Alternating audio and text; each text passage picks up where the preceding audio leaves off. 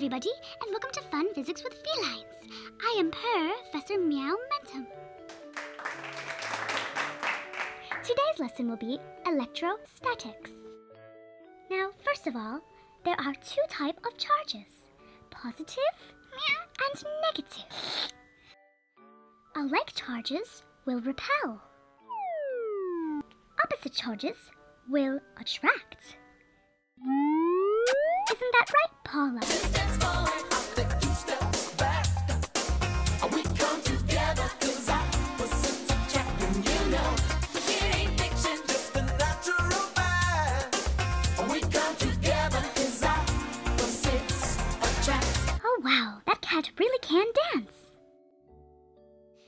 Each type of material has a different arrangement of atoms, electrons, and protons.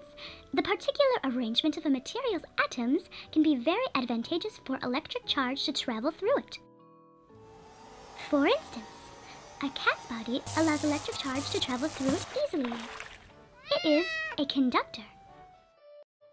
Rubber has its atoms arranged such that it is very difficult for electric charge to follow through it. Rubber is considered an insulator. Ooh, that rubber ducky looks delicious. Never mind, must not eat the physics experiments. Moving on. And now it's time for our fun physics joke of the day. Fun physics joke of the day. Why did the cat fall off the roof? Give up? Because he lost his mew.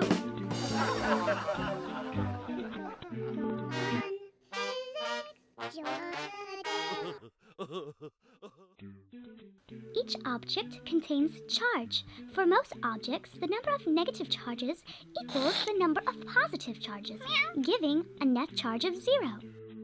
When certain types of materials are rubbed against each other, the material's atoms are arranged such that some of the charges from one material will be transferred to the other material. This gives both objects a net charge. For instance, if we take this rubber ducky and rub it against this cat's fur, some electrons are rubbed off the fur and onto the rubber.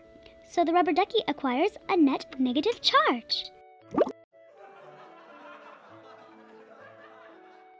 I don't know about you, but that's about all the physics I can handle for now.